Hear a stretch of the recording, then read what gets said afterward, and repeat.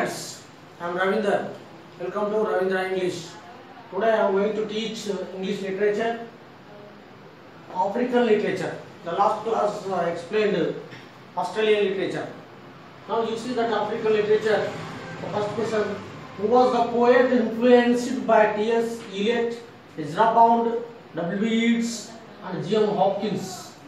So ఈ ముగ్గురుతోని influence అయినటువంటి ఆఫ్రికన్ పోయట్ ఎవరు so was the poet influenced by TS Eliot Ezra Pound W Yeats and GM Hopkins that is the Christopher Okigbo Christopher Okigbo African poet African poet TS Eliot ద్వారా Ezra Pound W Yeats and GM Hopkins ద్వారా influence కావడం జరిగింది So okay, now who was the poet, novelist and uh, dramatist awarded the Nobel Prize for Literature in 1986?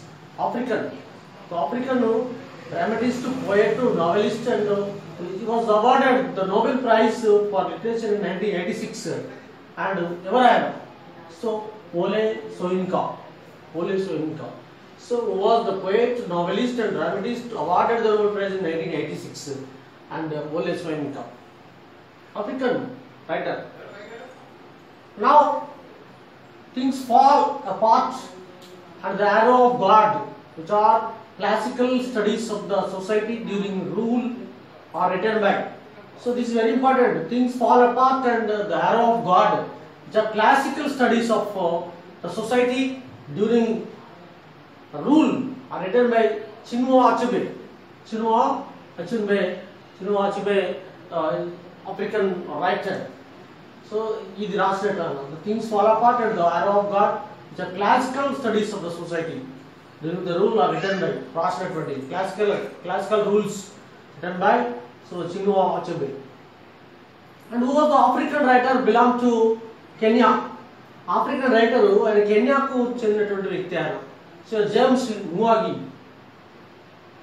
James James కువాగి కువాగి so any silent year James కువాగి year this African writer but it belongs to Kenya Kenya చెందినటువంటి వ్యక్తి but African writers African novels రాయడం జరిగింది and year Efuru Efuru realistic novel of Africa is written by Efuru Efuru Efuru realistic novel of Africa is written by Flora Nwapa Flora Nwapa రాయడం జరిగింది this is famous year realistic novel ఇఫ్యూరా ఇఫ్యూరా okay నా who began modern fictional prose written in Kenya కెన్యాలో modern fiction prose రాసినటువంటి ఆయన ఎవరు వాగి వాత్యాంగ్స్ the river between వాగి వాత్యాంగ్స్ the river between so రాసినటువంటిది Kenya so who began modern fictional prose writing in Kenya ఎవరు మొట్టమొదటి వాగ్వా త్యాగ్స్ the river between రాసినటువంటి book but వాగి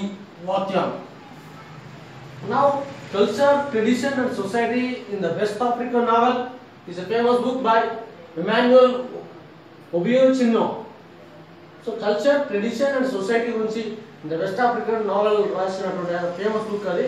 so Emmanuel Obiechina culture గురించి రాయడం జరిగింది. African novel అది.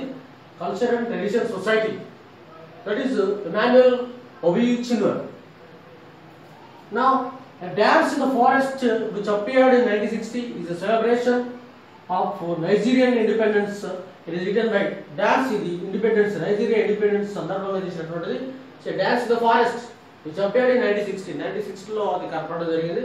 The celebration of Nigerian independence it is written by Wole Soyinka Wole Soyinka రాయడం జరిగింది. This a dance in the forest that is Celebration of independence of Africa in 1960. And next, uh, the last, uh, the novelist who won the Nobel Prize for Literature in 1991. 1991 లో Nobel prize పొందినటువంటి African writer ఎవరు so so novelist novelist who won the Nobel prize for literature in 1991 so Nadine Gordimer Nadine Gordimer Nadine Gordimer so he got Nobel prize So ఈ nineteen nine ఇట్లా మరి ఎవరెవరు Nobel prize పొందినలో ఇచ్చి ఇలా లేని వాళ్ళు ఎవరు కూడా అవ్వచ్చు. సో నోబెల్ ప్రైజ్ ఉన్నటువంటి అక్కడ ఇక్కడ చూడండి ఓలే సోయన్కా రావడం జరిగింది. Uh, అండ్ దిస్ సో మధ్యలో గార్డెనర్ సో ఇవి ఈ రెండు ఇచ్చి మిగతా ఏదైనా కూడా అడగవచ్చు. సో కాబట్టి ఈ నోబెల్ ప్రైజ్ మీద మనకు ప్రిపేర్ అవ్వాల్సి ప్రతి దాంట్లో African Australian literature whatever that even Indian English also Nobel prize పొందినటువంటి వాళ్ళు ఎవరెవరు అనేది మనం ఖచ్చితంగా తెలిసి ఉండాలి. You know that Nobel prize winners okay so this about African literature next this about the Nigerian literature after that will కూడా Indian English Indian English తర్వాత నెక్స్ట్ క్లాస్ ఉంటుంది. So with in four five days will complete our literature part of for NET SET and DL JL also it these questions will useful and for even school stand English also so మీరు త్వరలో DSC class పెట్టడం జరుగుతుంది syllabus అనేది old syllabus అని చెప్తున్నారు. దాంట్లో English అనేది compulsory ఉంటుంది. ఇంగ్లీష్ గ్రామర్ ఓల్డ్ సిలబస్ అయితే. మరి కాబట్టి ఇంకా జస్ట్ కొంచెం డౌట్ ఉంది. నోటిఫికేషన్ రాగానే వెంటనే గ్రామర్ క్లాసెస్ మరియు మెథడాలజీ క్లాసెస్ కూడా పెట్టడం జరుగుతుంది. కాబట్టి మా యొక్క ఛానల్ మీకు మెసేజ్లకు రావాలంటే మీరు సబ్స్క్రైబ్ చేయండి. ఆ బెల్ బటన్ ప్రెస్ చేయండి. అప్పుడు మీకు ఏ రోజు రావచ్చు. కాబట్టి నేను ఎప్పటికీ స్టూడెంట్స్కు టచ్లో ఉంటాను. ఆల్వేస్ ఏ కాంపిటేటివ్ ఎగ్జామ్స్ అయినా ముఖ్యంగా టీచింగ్ పర్పస్లో ఏ నోటిఫికేషన్ పడేవాడు జేఎల్ కానీ డిఎల్ కానీ పోస్ట్ అండ్ ఇంగ్లీష్ కానీ ఎనీ గురుకులా కానీ ఇంగ్లీష్ సంబంధించింది కానీ ఏవైనా అనేది క్లాసెస్. డిఎస్సికి అయితే మొత్తం how to get uh, good marks in DSC అని కూడా మరి కొంత మోటివేషన్ క్లాస్ కూడా తీసుకోవడం జరుగుతుంది. సో మా ఛానల్ ఛానల్కు టచ్లో ఉండండి. Thank you thank you very much